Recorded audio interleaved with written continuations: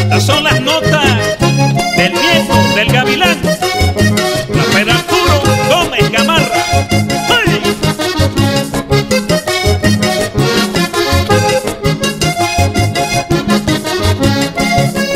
Atlántico en la sabana de San Ángel vive un gavilán sin pluma que persigue a las pollitas, ya que le tienen una trampa lista, pero yo juro que si cae se sale, ya que le tienen una trampa lista, pero yo juro que si cae se sale.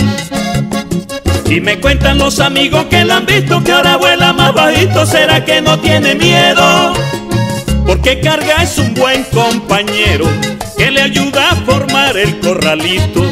Cuando no es Dago lleva a Rafael para que le entretengan a las viejas. Más adelante logra convencer a la pollita que siempre se lleva. Cuando hace el racto monta en su caballo, allí nomás deja una polvareda.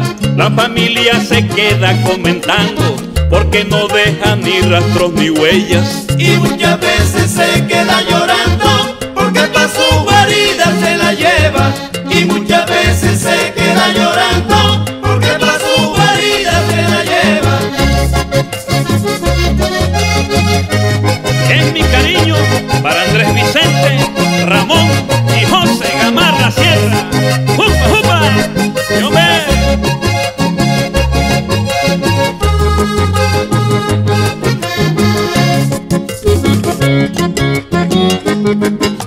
Mi aprecio para Rafael Contreras en San Ángel, Magdalena.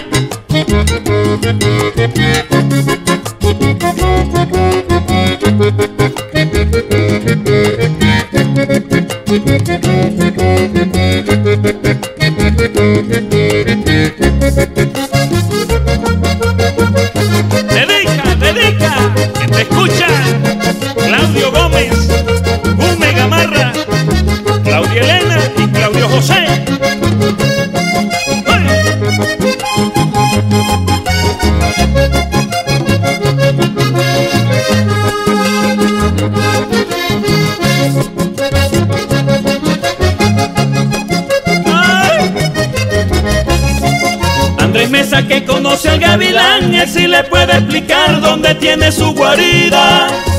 Porque le hace una seña a la salida y en su patrón lo invita a parrandear. Porque le hace una seña a la salida y en su patrón lo invita a parrandear.